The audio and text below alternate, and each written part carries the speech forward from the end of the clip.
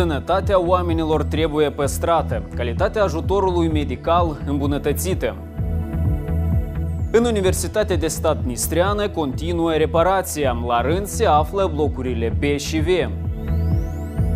Exemplare în toate. Astăzi este ziua liceanului.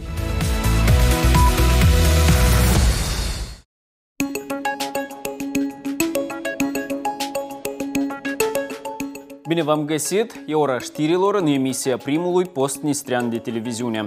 Noi continuăm să vă aducem la cunoștință principalele evenimente din Republică. Cum a fost această zi și prin ce se va memoriza ea? Urmărim chiar acum.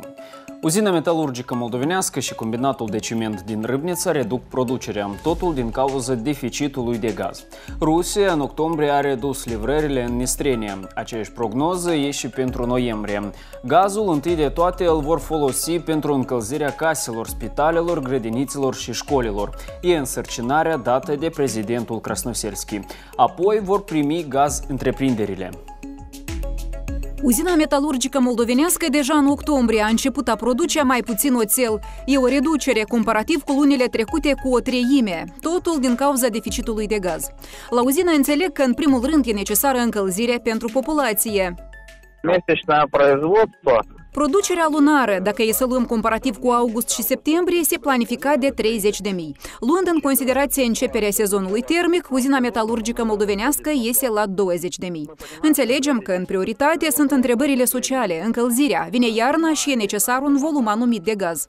Gazul pentru început va merge la încălzirea caselor, școlilor, spitalelor, apoi pentru industrie. Despre aceasta a spus prezidentul Vadim Krasnoselski. Gazprom a redus livrările de gaz în Nistrenia, în octombrie cu 30%, prognoza pentru noiembrie minus 40%.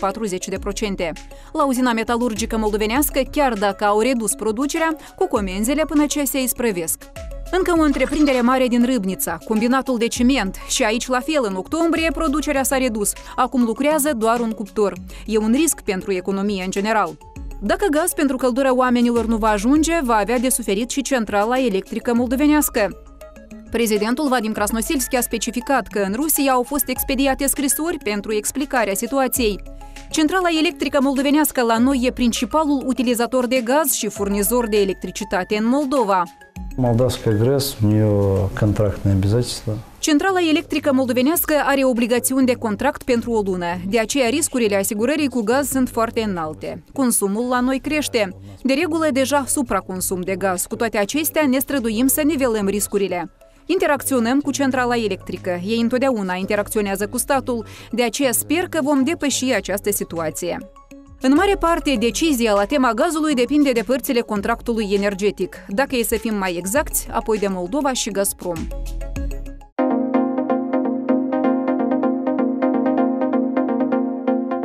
Sănătatea oamenilor trebuie păstrată, calitatea ajutorului medical oferit îmbunătățită. Acestea sunt principalele motive din care medicina trebuie modificată. Acum există o mulțime de probleme.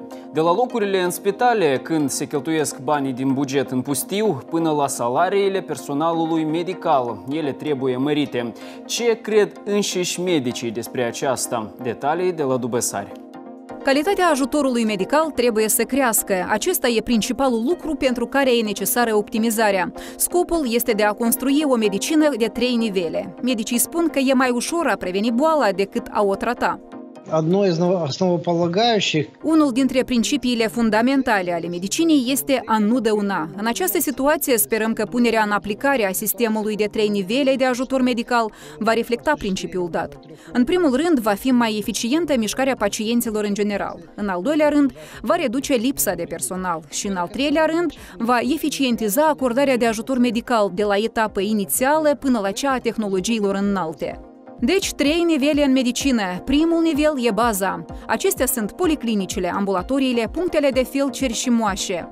Al doilea nivel îl reprezintă spitalele din teritoriu. Aici o parte din paturi care staționează propun să le reprofileze, de exemplu pentru spitalele de zi. Nivelul 3 este ajutorul medical de înaltă tehnologie, adică diagnosticarea, intervenții chirurgicale dificile. Sunt planuri și pentru maternitate, propun să lase 3, în Tiraspol, Râbnița și Bender. În Dubăsari, spre exemplu, maternitatea a fost de mult închisă și viitoarele mame sunt duse la Grigoriu Opol.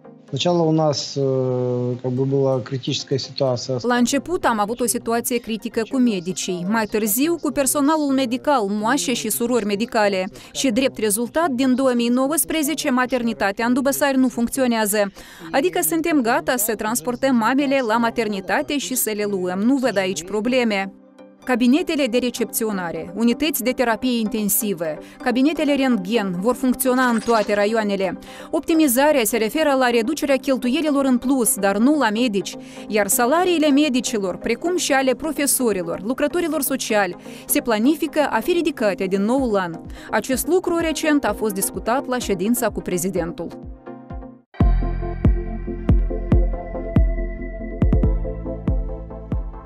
La Universitatea de Stat Nistreană continuă reparația. La rând se află blocurile B și V. E vorba nu numai despre sălile de studii, dar și despre cea sportivă. Planuri sunt și pentru observatoriu. Universitatea de stat Nistreană, blocul B sau numărul 2, dată în exploatare în 1932. Ultima dată aici a fost reparație capitală la sfârșitul anilor 60 ai veacului trecut. E nevoie de a schimba totul, rețeaua termică, electrică. Se planifică internet rapid și Wi-Fi, mobilier nou.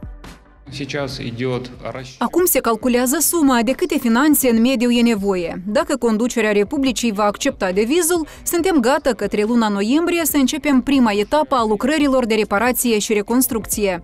De la început, constructorii vor lucra în aripa dreaptă a blocului B, iar studenții vor învăța în alt bloc.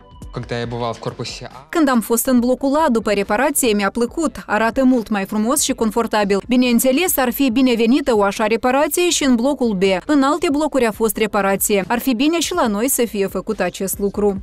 Iar acesta este planetariul. El are nevoie de reparație. Ne ridicăm mai sus, în observatoriu. Încălzirea aici nu. Problema va fi soluționată. Aici va fi reparație și montată lumină adăugătoare. чтобы не stâdно было привести сюда. Să nu ne fie rușine să aducem elevii încoace și alți doritori, să facem excursii pentru amatorii astronomiei în observatoriul nostru. Înlocuirea podelilor, sistemului de ventilare și rețele termice în sala sportivă din blocul B. Însăși clădirea va fi adusă în ordine, până ce se apropie de sfârșit reparația fațadei din partea curții interne. Lucrările de reparație vor continua până la sfârșitul anului curent.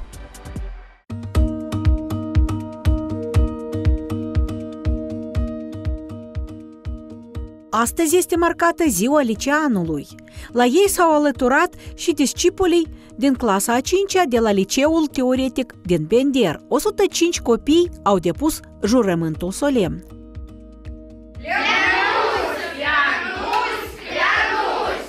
Это особенный обряд, он всегда у нас проходил. Este un obicei minunat, de fiecare dată cu multe emoții și bucurie. Copiii deschid o pagină nouă în viața sa. Aș spune că liceienii învață a învăța. Pentru ei este un lucru important. Le doresc răbdare și muncă sârguincioasă. Aici copiii studiază la mai multe profiluri. Informațional-tehnologic, fizică, matematică, umanitar, biologie, chimie. Are loc dezvoltarea creativă. În această instituție de învățământ studiază viitorii medici, pedagogi, arhitecți, oameni de artă. готовится у нас в этом году. Мы го- Noi pregătim pentru anul curent 50 de lucrări de cercetare în cadrul societății științifice. Obținem de obicei rezultate frumoase. Liceienii din Bender au cu ce se mândri locuri premiante la olimpiade, concursuri intelectuale, sportive, festivaluri. A fi licean înseamnă nu numai a învăța bine, a fi exemplar, dar și adevărat patriot, participant activ la manifestări de rang orășenesc, republican și internațional.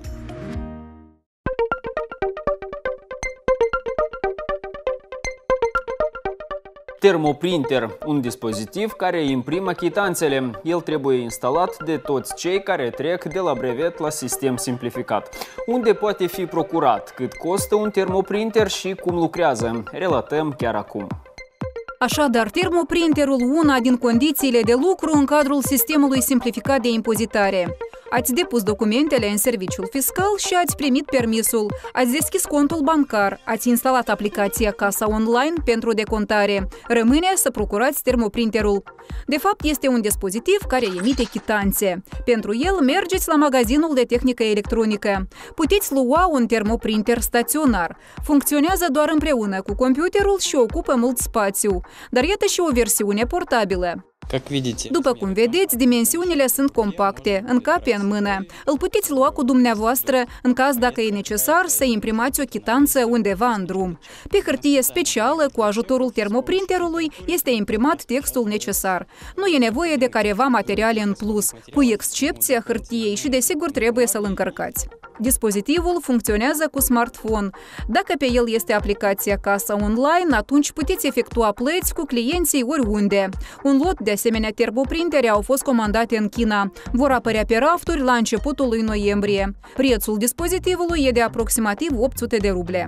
Un punct important este că dacă antreprenorul instalează aplicația o singură dată, atunci numărul de termoprintere e egal cu numărul de puncte de vânzare. Adică proprietarul a trei magazine trebuie să aibă în fiecare magazin asemenea dispozitiv. Și încă o informație. La trecerea de la brevet la sistem simplificat, statul îi compensează antreprenorului costul unui termoprinter cu ajutorul reducerii fiscale.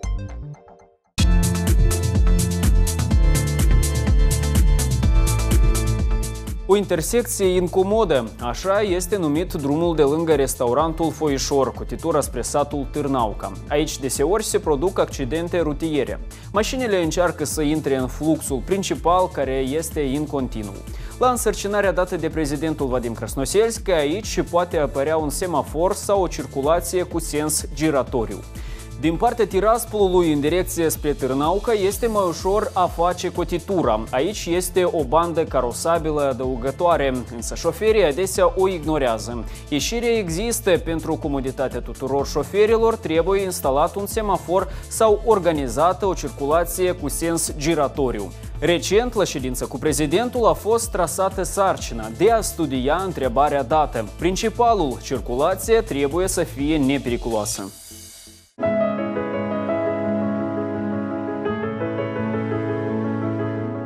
Care este sensul vieții și ce este fericirea adevărată? Despre dragoste și credință, un nou proiect la primul post nistrean de televiziune. Deja în duminica aceasta este premieră. Vizionați programul на порядок выше. Любовь к Богу и любовь к человеку. Только без этого вот э, человек э, не может быть счастлив. Formatul proiectului e următorul. Prezentatoarea Olga Gavrilova adresează întrebări slujitorilor bisericești despre dragoste, păcate și lucruri sfinte. Premiera la 23 octombrie, începutul la ora 17.00. Fiecare ediție va fi despre ceva important și netrecător.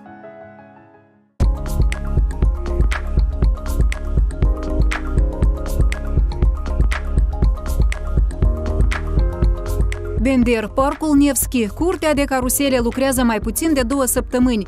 În fiecare zi, verificarea mecanismelor, centurilor de securitate. Prețul pentru copii e de 5-10 ruble, pentru maturi 15 ruble. Sunt restricții de vârstă. Spre exemplu, la corabia zburătoare copiii sunt admiși doar de la 6 ani, căci e mare și are viteză înaltă.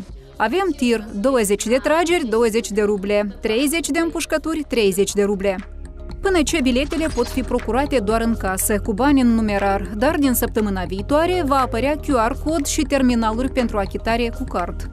Здорово. E minunat, cetatea se dezvoltă. Am venit din Cehia, dintr-un oraș mic și am înțeles că Nistrenia noastră, Benderul, sunt cele mai minunate locuri. Îmi place aici. De parcă ne amintim de copilărie. N-am avut așa ceva când eram mici. E minunat. Curtea de carusele au vizitat-o deja mai bine de 10.000 de persoane. În zilele lucrătoare, de la 16 până la 20.00, în zile de odihnă, de la 10 până la 20.00. Sunt așteptați toți doritorii. Mai multe despre aceste și alte noutăți aflați în ediția de seară Căb și pe rețelele noastre sociale. Cele bune în continuare și doar noutăți plăcute. La revedere!